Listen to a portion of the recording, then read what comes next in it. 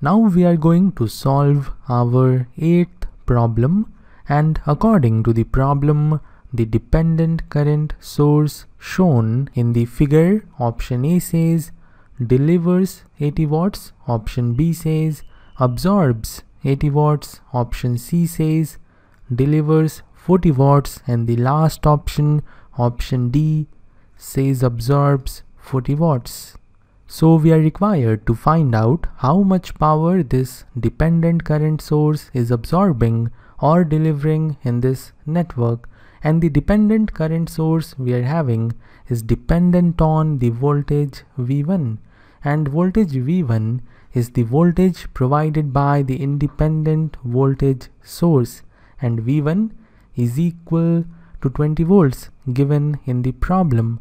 Therefore, the current provided by the dependent current source is equal to 20 divided by 5 which is 4 amperes.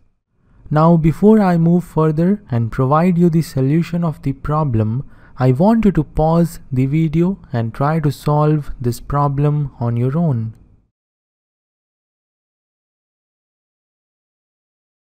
I hope you are now done with your solution and it's time to see how we can solve this problem. We know power is equal to voltage multiplied to the current. We know the current is equal to 4 amperes but we don't know what is the voltage across the dependent current source. So our main aim is to find out the voltage across the dependent current source and once we have the voltage we can multiply it with the current to have the power.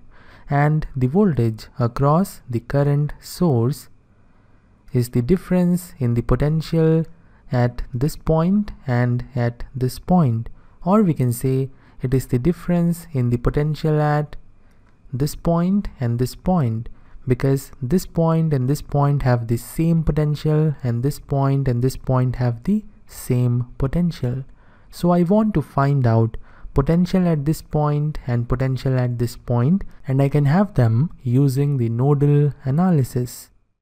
And in this network we have 1 and 2 principal nodes and I will choose the bottom node as the reference node and this node is having the potential equal to V and we want to find out V.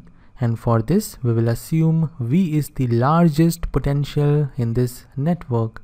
And therefore all the three currents will leave node 1 and let's say this current is equal to I1 this current is equal to I2 and this one here is equal to I3 now applying KCL at node 1 we have I1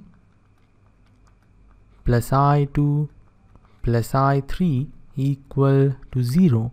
I1 is equal to V minus 20 divided by 5. This point will have the potential equal to 20 volts because this point is having the potential 0 volt. So I1 we can write as V minus 20 divided by 5 plus I2 is equal to V minus 0 divided by 5 V minus 0 divided by 5 and I3 is equal to minus 4 amperes. 4 amperes is the current in this direction and I3 is the current in the same wire but in the opposite direction. Therefore I3 is equal to minus 4 amperes and then we will equate with 0. From here we can find out voltage V. It is the only unknown and when you solve it you will have V equal to 20 volts. So we have calculated the potential at this point. Potential at this point is equal to 0 volt. Therefore the potential difference is equal to 20 minus 0 that is 20 volts. So we have obtained V and now we can calculate the power. It is equal to 20 multiplied to 4 that is 80 watts. So option C is not correct. Option D is also not correct. And now we need to find out whether this 80 watts of power is getting delivered or it is getting absorbed by our dependent current source. And to find out this we need to go back to our basics we understood in the electric power lecture. And there we concluded that when current enters the positive terminal the power is absorbed. So when current enters the positive terminal of the element and leaves the negative terminal of the element the power is absorbed and when the current leaves the positive terminal the power is delivered the current is leaving the positive terminal of the element and it is entering the negative terminal of the element. And now when we focus on the direction of current between the plus and minus, then you can see that when current is moving from plus to minus, the power is absorbed. And when current is moving from minus to plus, the power is delivered. And in our case the current is moving from low potential to high potential. That is it is moving from minus to plus. So moving from minus to plus power is delivered. So the answer will be current source is delivering 80 watts of power. So i hope you now understand how to deal with this type of problems. And now we will move on to our homework problem.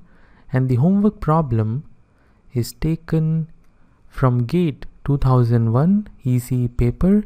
And in this you need to find out the impedance in the equivalent Y circuit when the delta circuit has impedance root 3 times Z.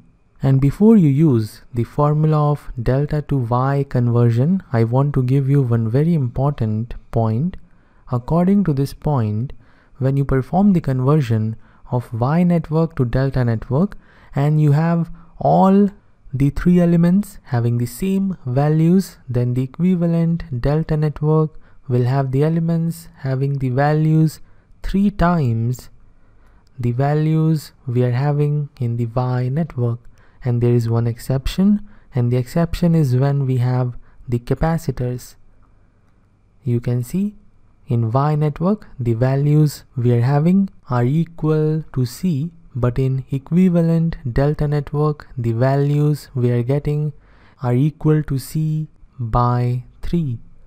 So remember this important point and the opposite will happen when we convert the delta network having the elements with same values to equivalent Y network the values of resistors, inductors and impedances will reduce by 3 times and the values of capacitors will increase by 3 times. So use this particular point to solve this homework problem and now I will end this lecture here see you in the next one.